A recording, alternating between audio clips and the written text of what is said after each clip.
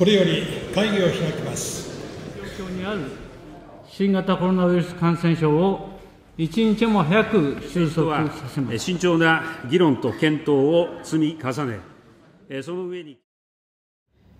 衆議院式速記符号にはさまざまな音を表すためたくさんの符号がありそれらを組み合わせて速記をします。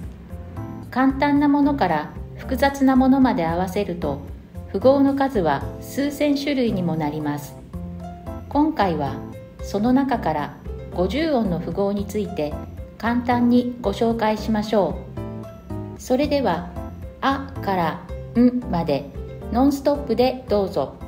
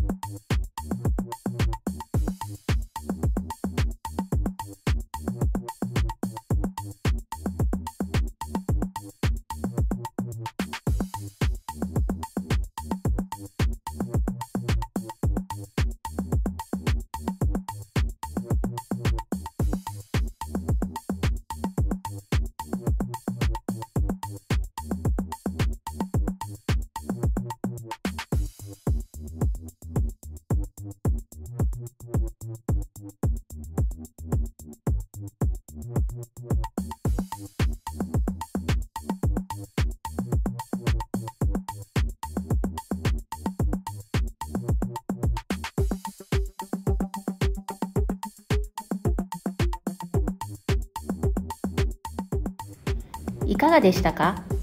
これが衆議院式速記符号の50音です。似たような符号もたくさんあって区別がつかなかったかもしれませんが線の長さや向きなど詳しい書き方については次回から説明していきます。では今回のおさらいをどうぞ。